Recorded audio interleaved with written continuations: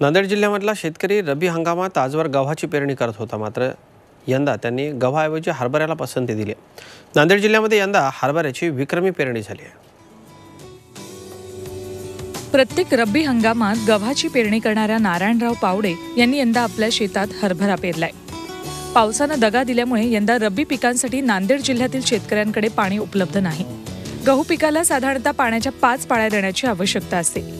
त्या तुलनेत हरभरा केवळ दोन पाण्यांवर येतो. त्यामुळे यंदा नांदेड जिल्ह्यातील शेतकऱ्यांनी गव्हाऐवजी हरभऱ्याला प्राधान्य दिलंय. पाणी नसल्यामुळं ग हरभऱ्याचं घेण्याचं कारण. पाणी कमी पाऊस कमी असल्यामुळं. याला काय काय लागते? याला खत द्यावं लागते. थोडंसं वल होते तिथपर्यंत ताबडतोब पेरावं लागते. थोडंसं पाणी कमी लागते. गहू का पेरलं नाही मग? गहू पाणी नसल्यामुळं गहू हरभरा पेरला. आधी गहू घेत गेलो. गव्हाला पा मशागत जास्त लागते म्हणून ते आता हरभर घ्याल हरभऱ्यामध्ये काय काय लागते? हरभऱ्याला मशागत नाही जास्त. हं.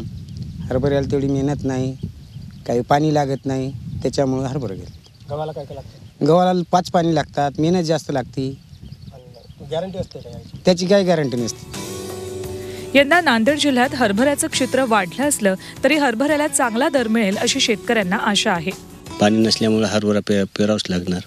गहू गहू यावर्षी गव्हाला पाणी नाही. हरभऱ्यातून आहे का फायदा आहे? का फायदा बी आहे. मात्र सरकारनं भाव दिला तर फायदा आहे. गेल्या वर्षी आप अप्रतपर केली भाव वाढला. यावर्षी आता काय देते सरकार ते आपल्याला?